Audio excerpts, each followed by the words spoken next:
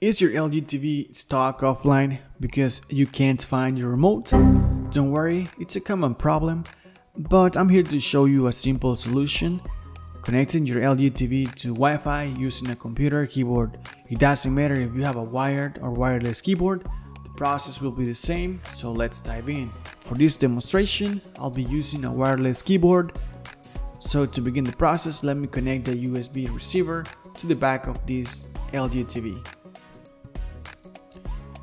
On the keyboard, you'll use the arrow keys up, down, left, and right to navigate options and the enter key to select just like an OK button on your LG remote. So let's start. Okay, let's press the up arrow key on your keyboard a few times until the settings icon, that gear icon in the top right corner is highlighted and then press enter.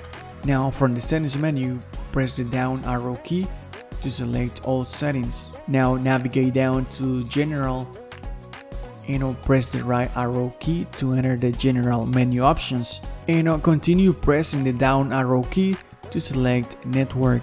Right there you'll see two options, wired connection and Wi-Fi.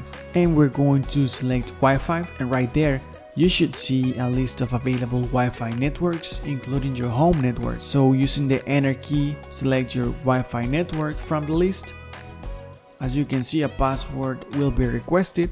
Simply enter your password using your keyboard. If you want to double check what you have typed, press the down arrow key to highlight show password, then press enter. In order to correct any mistakes, use the backspace key to delete letters or numbers. Once you have entered the correct password, press enter and now your TV should connect to your Wi-Fi network. Here's a bonus tip, now that your TV is online, you don't have to keep using the keyboard, you can download the LG ThinQ app to control your smart TV directly from your smartphone. Now, what if you couldn't access the settings menu this way?